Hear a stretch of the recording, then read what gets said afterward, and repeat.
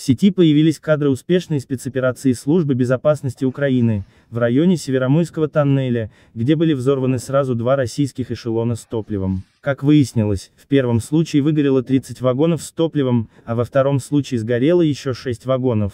По словам локомотивной бригады, во время прохождения Северомойского тоннеля, снялось напряжение, и поезд начал автоматически тормозить. Пока члены бригады выясняли в чем дело, произошел взрыв, и в тоннеле началось сильное задымление. После этого, бригада закрепила состав, и покинула тоннель. После взрыва, оккупантам удалось спасти только 14 вагонов из 44.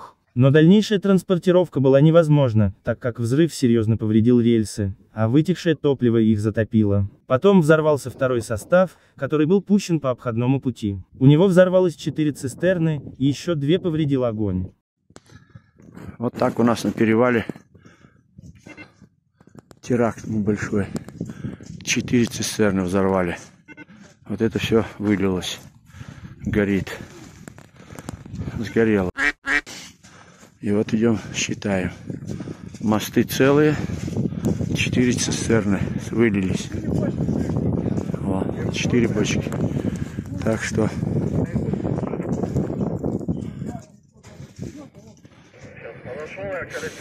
Вот это все горит.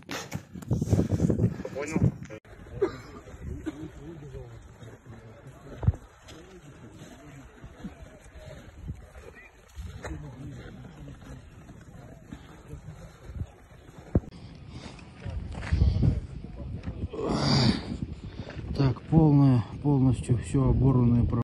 На земле лежат 145 опора. Так.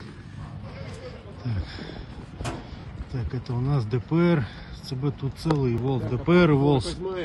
Так.